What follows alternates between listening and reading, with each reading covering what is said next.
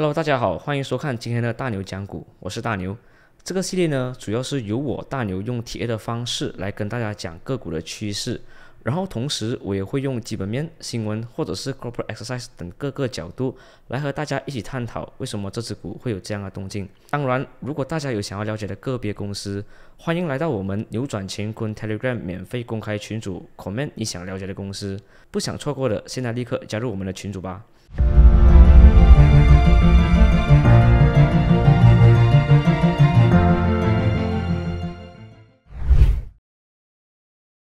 现在是十二月六号的下午三点十八分。这个分析呢，我会分为几个部分来跟大家讲解。首先是复盘上一期的股，如果没有跟进的朋友，可以跳到这个时间点观看下一个部分。到底上个星期讲了些什么股呢？就是我觉得可以关注的领域就是旅游行业，因为我国政府有计划推广旅游，而当中的旅游股就包括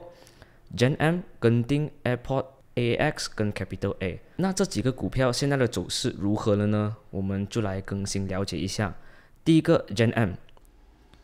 目前呢，Gen M 是来到关键阻力位，上个礼拜已经有讲到两块七需要突破加回踩才可以继续走高，不然会回调一波。下个支撑价位呢，如果它真的引来回调，下个支撑价位可能就要看两块六这个价位。下一个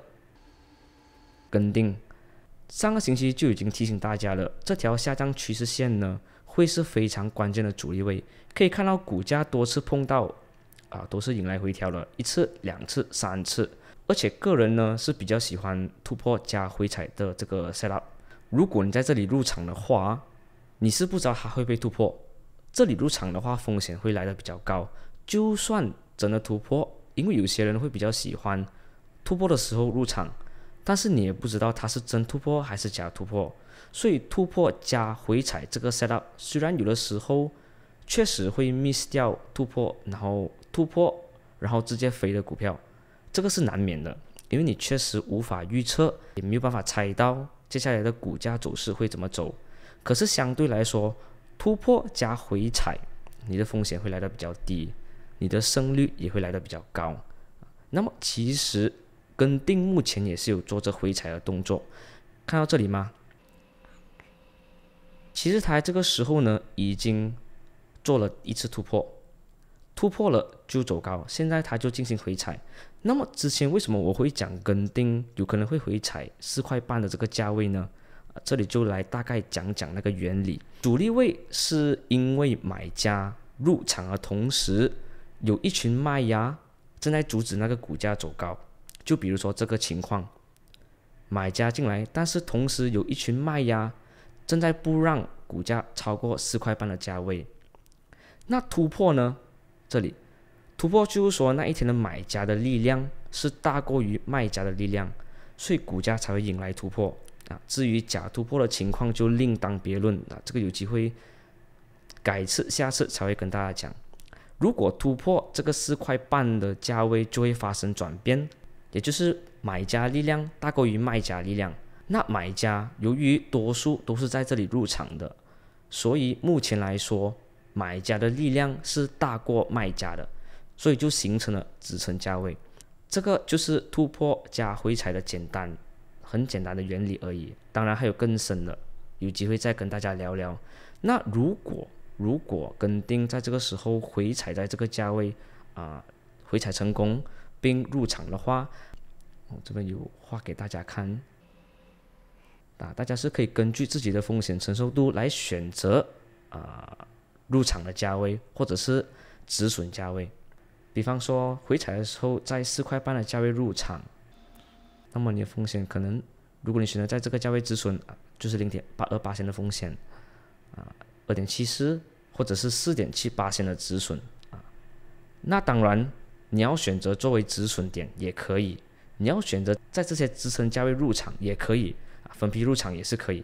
是看你们用什么样的策略啊。选择了那个策略，你们就要去遵守它，执行它就可以了。好，那下一个就是 Airport。Airport 上个星期就提醒过要小心 Airport 的走势，因为是蛮 bearish 的。现在是来到 EMA 两百。啊，那如果跌破的话，可能我们就会看到六块八的价位。可以看到这个，可以看到这一边，啊，那如果还没有办法继续守住在这个支撑的区域的话，跌破就可能我们看到六块八的价位。啊，下一个就是 AX，那上个星期就有讲到呢，AX 是需要突破两块十五线的这个价位，它才有机会继续走高。照目前来看。就跟上个星期讲的一样，现在有可能会来到一块八十三的价位，然后这个支撑价位呢，刚好又是 EMA 两百，所以如果它真的没有办法守住在这个价位的话，其实蛮关键的。如果没有办法守住的话，可能就会继续往下回调啊，那这里就要再多加留意啊。如果是跌破，没有办法重新站上这个价位的话，啊，那么继续回调的机会啊会更高。那下一个就是 Capital A，Capital A 呢啊，当时就有提醒到，虽然有尝试回踩在啊八十八线的这个价位，可是当时就跟大家讲要小心业绩公布的时候是会笑 on news，因为当初这里上涨，这里突破上涨的时候呢，可能大家就会觉得 Capital A 会不会像 AX 一样，公布了业绩就。脱离了 PN17 的 status，那目前来说啊，虽然 Capital A 是已经公布了它最新的业绩，可是它还是没有脱离 PN17，而且他们必须要在今年的十二月三十一号之前提交他们的 PN17 重组计划，所以可以看到目前的股价是连续跌破八十八跟八十四线的支撑价位。那目前来看呢，只要股价重新站上。八十四跟八十八的价位之上，它才有机会看到更高啊。目前来讲还是蛮 bearish 的，所以总的来说，这五个股票呢当中走势比较好看的是 Gen M 跟跟定，其他的股呢走势会比较 bearish，所以大家需要多加留意。接下来的环节就到了粉丝分析互动环节，在我们的公开群组，你可以向我们提出你想了解的公司，我看到之后会选择值得讨论的公司，并在这里做出分析。所以不想错过的，记得到我们 Pin Comment 点击链接，加入我们的免费公开群组。几天前粉丝就有在群组写了很多个公司，我就在里面选择了其中的两家，第一个是 Unique，第二个是 BJ Food。那我们先来看第一家 Unique，其实 Unique 是一家在去年上市的 IPO 公司，专门做灭火器的。看看股价的走势，其实当时啊，他们在这个时候呢，就突破并站上二十一毛半的这个价位之上，之后也一直成功的守住在这个价位之上。巧的是，公司在这个时候，也就是八月二十一号的时候公布业绩，那第二次也是发生类似的情况，股价。在这个时候突破并站稳在这个支撑区域之上，股价就一直走高。恰巧的是，公司也是在十一月十六号的时候公布它的业绩报告。啊，其实除了业绩好之外，公司还有透露一个比较关键的信息，那就是它的生产线。啊，可以看到公司业绩其实连续几个季度都是蛮平稳的。可是当公司公布这个季度的业绩的时候呢？啊，公司的股价就明显有了动静，开始就上涨。除了盈利方面是迎来双倍的增长之外，QQ 增长，还有就是公司有透露他们的两个新的生产线，啊，可以看到这里，预计会在二零二四年的第一个季度完成。其实第一条生产线呢，在前一个季报，也就是他们的啊，也就是今年的五月。他们就已经有提到他们的生产线，可以看到这里，他们就可以看到这里，他们就其实已经有提到他们的生产线了，只不过可能是因为业绩平稳的关系，所以股价当时呢就没有说有太明显的涨幅。可以看到当时的业绩出炉的时候呢，股价其实也还好，没有说很明显的涨幅。那那那那么在这里呢，就会有比较明显的啊上涨。这边也是一样上涨，继续走高。然后这边是讲到他们的生产线会在二零二四年的第一个季度完成。那么最新的季报呢，除了也是讲到他们的盈利翻倍之外，也是有透露到他们的生产线就在这里，啊，重点在这里。这两个新的生产线呢，啊，将会在二零二四年的第一个季度投产，并且预计年产量可以提升一个两百二十八线，啊，所以股价两次都有不错的涨幅。可以看到这里，所以股价呢两次啊，我个人是认为，因为这个生产线的关系，因为有望可以进一步的提升他们的公司业绩，所以股价呢也随之迎来涨幅。那短期来讲呢，股价至少要站上在三十线的价位之上，这样的走势短期走高的几率才会更高。一旦跌破这个三毛的价位呢，就要看二十八线的价位啊，这个价位非常关键哦，因为之前股价是成功突破。前高，也就是这个二十八线，然后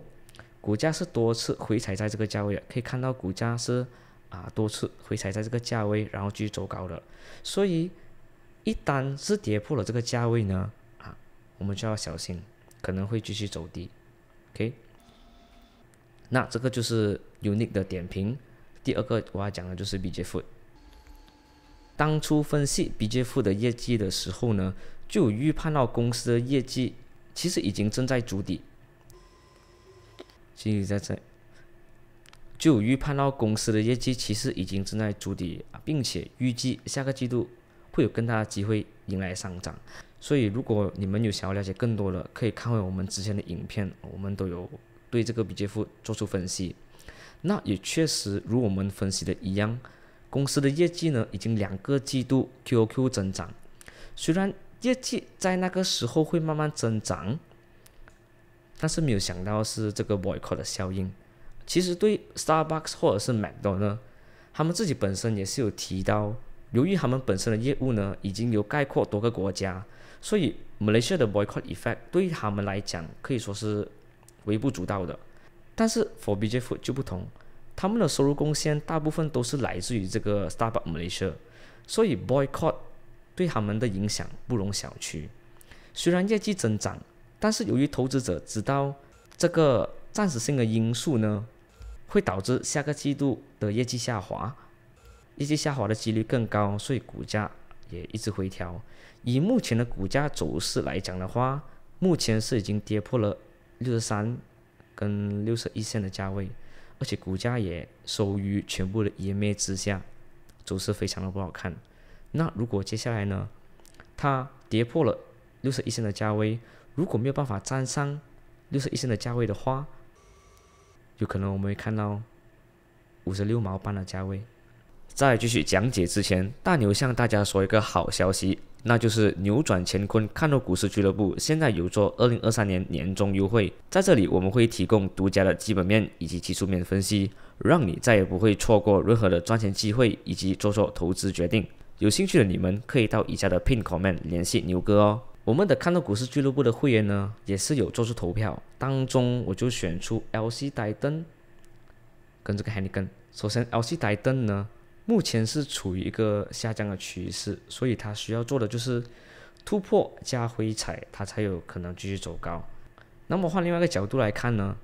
如果关掉这个中长期，可以说是一个横盘的走势，已经有。从那时跌破五月，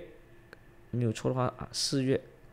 四月开始到现在已经超过半年了，所以阿西台灯至少要突破一块二十八线的这个价位，它才可以继续走高，不然它一直会在这个区域盘整啊。那第四个就是 h e n r y g u n Malaysia，，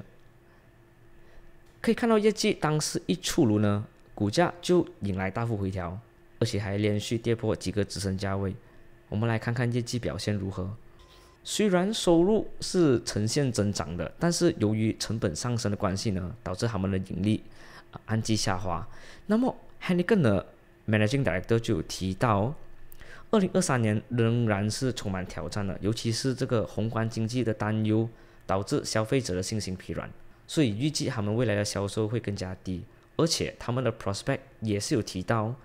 这个季度跟前几个季度有观察到这个市场的调整啊，预计这个趋势呢，这个 market correction 会持续下去，所以从中投资者会觉得，他们可能会觉得下个季度的业绩可能不理想，所以股价才会迎来大幅回调。那么从股价的走势来看呢，目前是处于一个下跌趋势，以及在十一月二十七号公布，然后就当这个业绩公布之后，股价的走势更加严重，更加加剧了这个跌幅，一度是跌破二十二点七八的价位。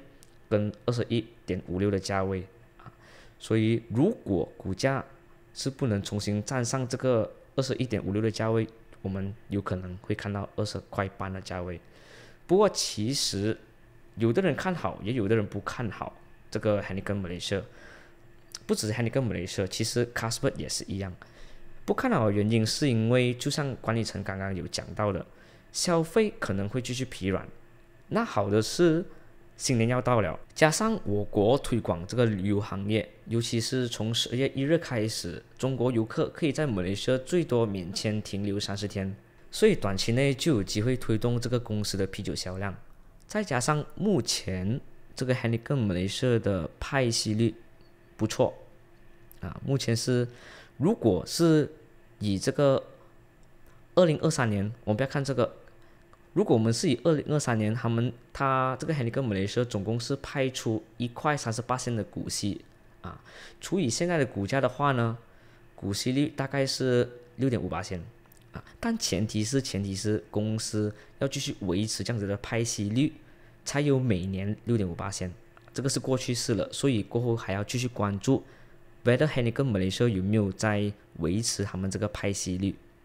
啊，如果。有想要部署 h e n n i g a n Malaysia 的啊，可以参考这里。当然，这个不是买卖建议，主要是技术分析，供大家参考。那么今天就讲到这里。喜欢这个系列的朋友们呢，记得订阅、点赞并打开小铃铛，这样你就不会错过我们的每一支影片。我们下期见，拜。